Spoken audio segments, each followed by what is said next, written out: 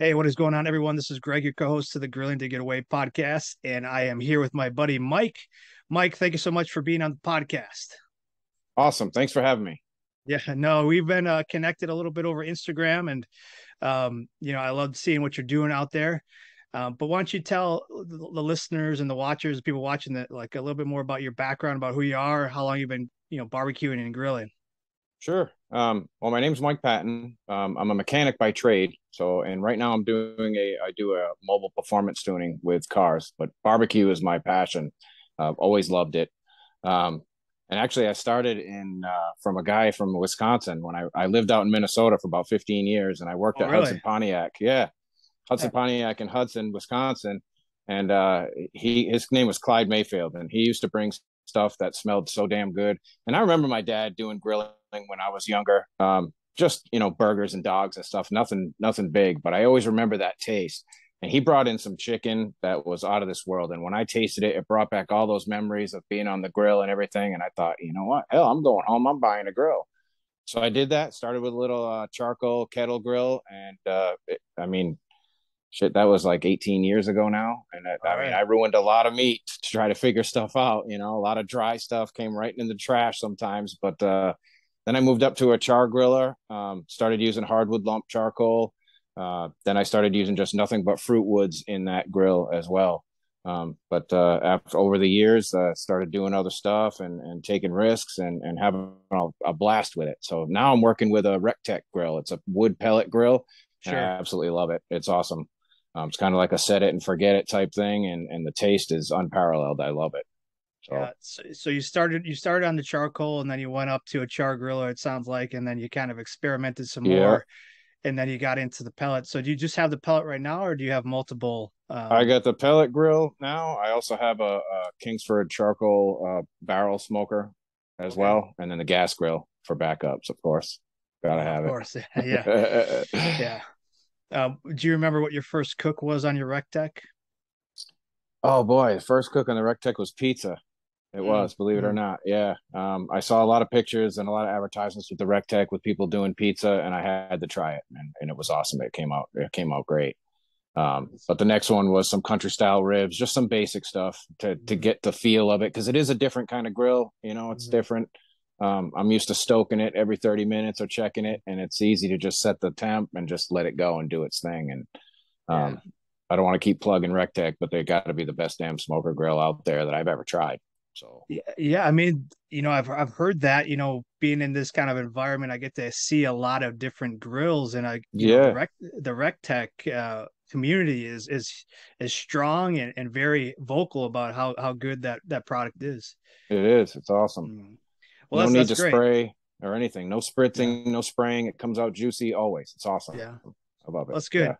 Well, it's good. Well, thanks for sharing that. Um, and you know, I've I've been following you on Instagram for a while now. So, uh, Awesome. what's your your um your handle is secondhand smoke RI. Is that Uh, because of Bar- Rhode Island? barbecue. So yeah, barbecue Rhode Island. So it'd Oh, be barbecue. secondhand smoke BBQ RI. Yeah, and that Okay, is for yeah. Rhode Island. Yep. Yeah, and we'll put that in the show notes so people can find you um and get Awesome. inspir yeah, get inspiration just like me. Um and I saw that you just like within the next like within the last day, um you did some St. Louis style ribs. Yeah. Um, and, you know, ribs is one of those things that you know you, have to practice a little bit, and if somebody's listening, they haven't tried it before, you know, I'd It love to walk, you know, I'd love to walk through that process with you, um, because they look they looked amazing when I when I saw them on your pictures. So, why don't you take me through that? Like, um, is St. Louis style like your your preferred cut of ribs, um, or is that just something like you found like at the local butcher that was on sale? Yeah, the the I always shoot for the St. Louis style. They're my favorite cut. They seem to have the most meat. I like the way that they're shaped. Um, a lot of people's go-to ribs are baby backs, but it seems Yeah. like every all the good stuff's cut off on a baby back for me. Sure. So I, I like it. So either just a normal rack that's untrimmed, I like doing that too, or the St. Louis is definitely my go-to. I'd love it. It's awesome. Yeah. Do you um do you trim or do you just leave it? Um, I trim a little bit. I, uh, of course, I get rid of the silver skin that's underneath, um, and Yeah. I'll trim a little bit of fat off if it's got some big fat chunks on it. Um, but I tend to leave everything the way that it is, even that big bone that's up on the corner. Some people trim Yeah. that off too to make it look a little better, but there's a lot of good Yeah. meat there, so I like to leave it. Yeah. Yeah, there is. There's definitely a lot of meat there. So you don't. You're not trying to make it look pretty. You're you're you're going more for substance there. Exactly. You're taking taking the membrane off the back and maybe trimming some fat and trimming some a little bit of meat off there, but for the most part, you're keeping it intact. I try to, yeah. Yeah.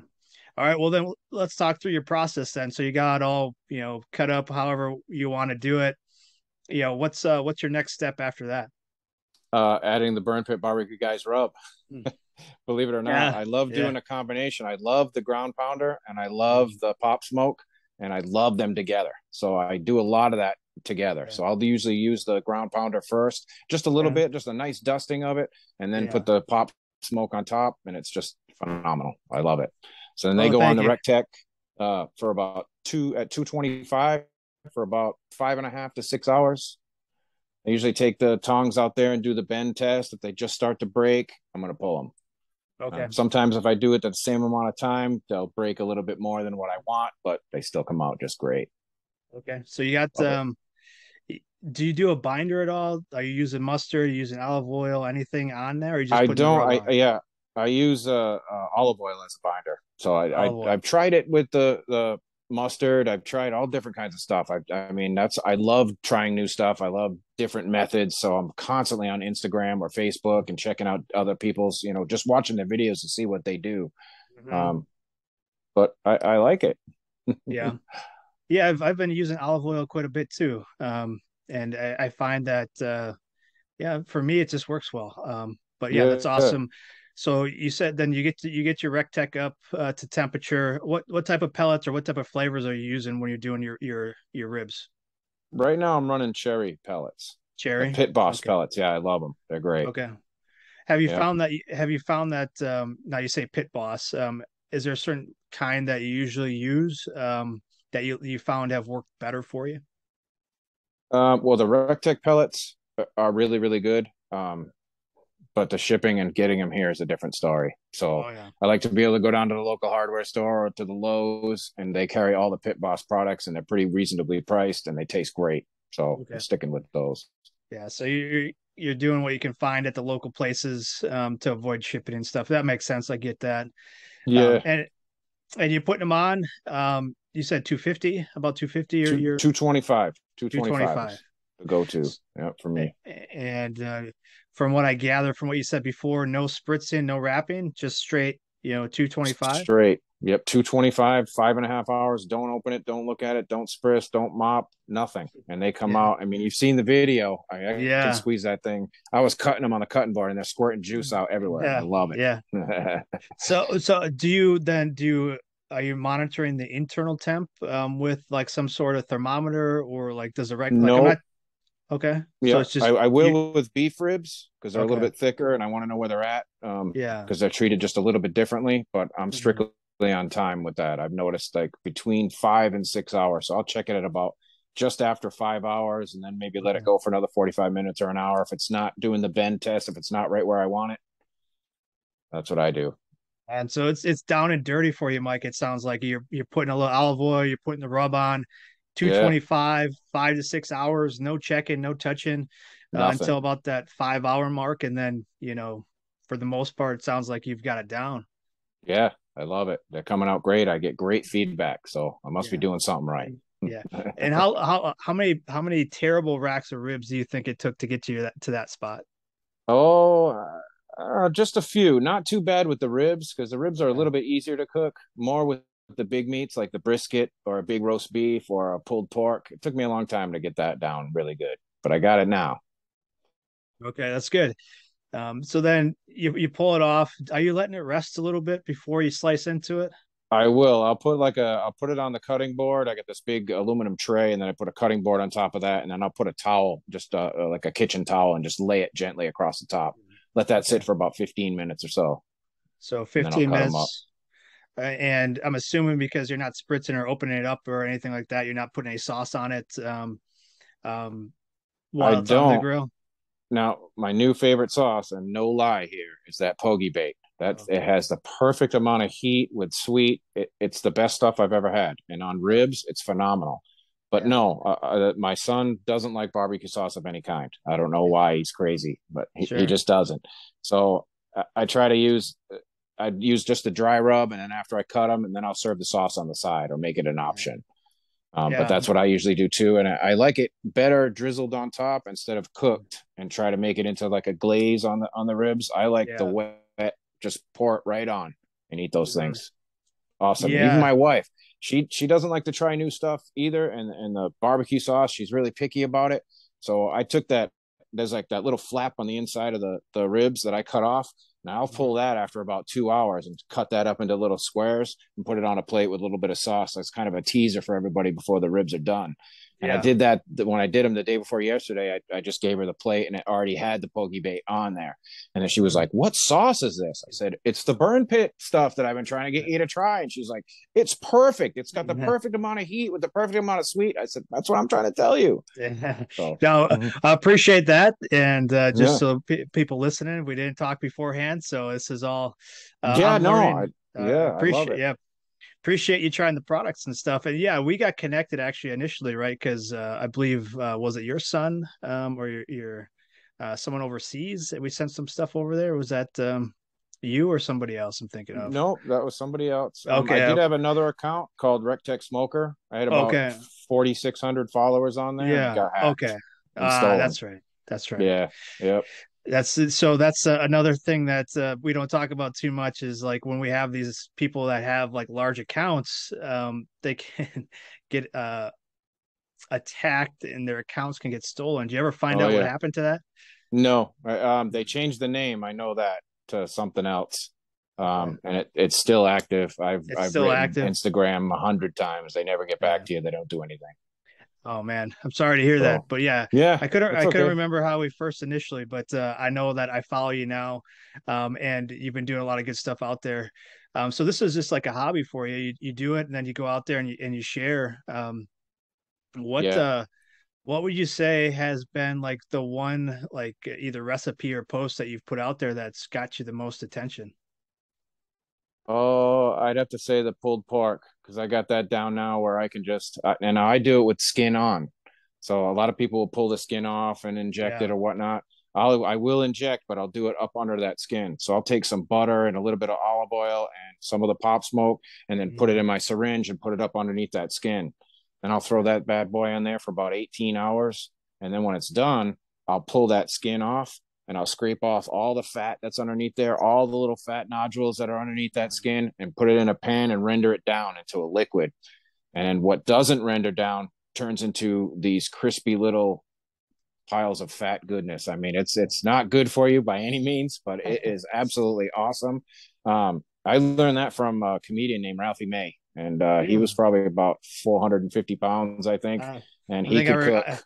Yeah, I remember Ralphie. Um, yeah, uh, no, that's awesome. So you you like because for the most part, people like when they go to the store and they buy like a pork butter pork shoulder, it's still it's it's got the skin off of it. You know, it's all trimmed yeah. down already.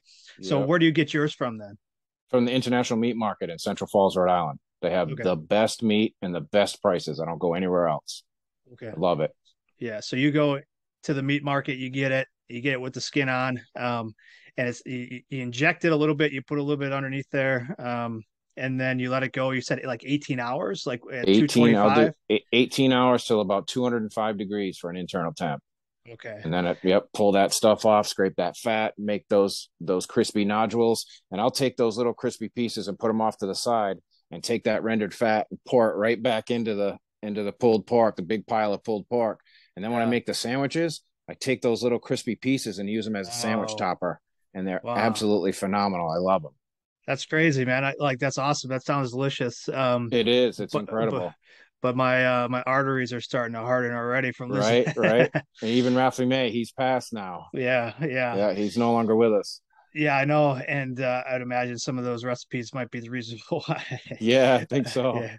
So, so you well, so when you pull off that skin and you start, you know, taking the fat off of it and you put it in yep. a pan, is the rest of the meat resting at that point while you're rendering down that fat, it is. I'll put a I'll put a towel over it for just a, again 15 20 minutes maybe while I'm rendering that stuff down. And that's where I got the most attention on that is when I pull the towel off and I can actually mm-hmm. reach into the meat and just pull the bone right out. I mean, it's so tender. Boom, yeah. both bones, the shoulder bone and that big big bone with the two ends on it, they come yeah. right out clean. Unbelievable. And I love it. I got That's it crazy. down. That's crazy. Um, and then so you're you're shredding it up, you're putting it on a bunner, what have you. You're drizzling some of that fat back in there. Um, and then as you're you know making the sandwiches, you're putting some of those crispy nuggets or whatever you got there from the fat yes. and yep. the skin on top. So it's a nice little you get the crunch from the the skin or whatever's left over there. You get the moisture yes. from the fat. You get the flavor from the pork. Oh man, that that sounds amazing. It is. It is. Um, and then and of course a little bit of the pogie bait on yeah, top. I was just gonna ask, do you Phenomenal. sauce it then? That's the I do I do sauce after always. I'll yeah. always serve it on the side because again, not yeah. everybody likes it, but yeah, I, I do, and it, it, seems better. I I like more uh, when it's right from the bottle. I think I feel I taste it more than if yeah. I let it roast on the grill for a little bit. I like it sure. better that way. So yeah, that's true. So then, like, I would imagine it's so juicy, anyways, from all that stuff you're putting in there that you probably it don't need sauce um, for it. Um, now, in like, I'm not familiar too much with like uh, Rhode Island barbecue, but um, is it similar to like East Coast where you're putting like slaw on like your pulled pork sandwiches too, like a yep, homemade? Yep. I do yeah. do that. My my wife will make the the um, homemade slaw, mm-hmm. and then I'll just put a little bit, just a tiny bit on top, just to top yeah. it off, and yeah, awesome. Yeah. Is that a vinegar based slaw, or is that kind of more you know Midwest? We like to do mayonnaise or whatever. she's from Minnesota. Oh, so, oh, she is okay. She does the yeah, she does the mayonnaise. Yep, it's phenomenal. Okay. That's good. That's that sounds delicious. I'm gonna have to try that. Right. Um, I don't think I've done that with uh, leaving the skin on like that and then uh, rendering it down. So yeah, when you have to.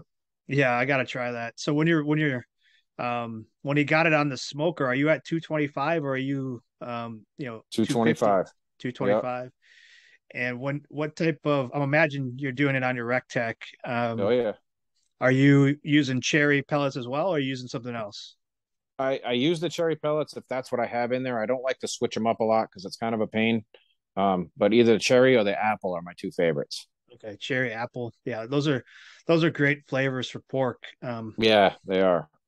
And you know, during this 18 hour cook, uh, you said like this is something that you usually keep temp on. Um, are you using like a meter, like a wireless thermometer, or how are you keeping temp with it? Yeah, I got a uh, Wi-Fi uh, Inkbird thermometer, so it Inkbird. has an app on my phone. Yeah, so I have the probes in there. It comes with four probes. I'll probe it in three different spots just to make sure I'm getting the sweet spot and take the best temperature that I can get. And then I can, from wherever I'm at, I can pull the phone out and open the app and go into it and see what temp it's at. It's perfect. Yeah. Love it. Yeah. Great. And are you basting Spritzy doing anything with this one, or are you just letting it, it doesn't need again? it? No, doesn't not with the Rec Tec. Okay. I don't know if it's the way it's designed or what the barrel, the way the fans are. It doesn't need it. It never okay. does. Nice. Nice. Mm. That's awesome. That it sounds is. great. It's been a while since I've done a pork shoulder, um, so I might have to find one here with the skin on. You uh, got to check that. out the yeah. video. I got some yeah. videos on there of me mm-hmm. doing it. So yeah, it does. That's definitely. I'll put a I'll put a link to that post too, so people can check it out. Yeah, um, awesome. Um, um yeah, once we uh put this out there for the world, I'll make sure to put in the notes so people can go out and find it. Um, so you know, we do have a lot of um, you know new barbecue or grillers that come and you know either listen to the podcast or you know follow us as well. Sure.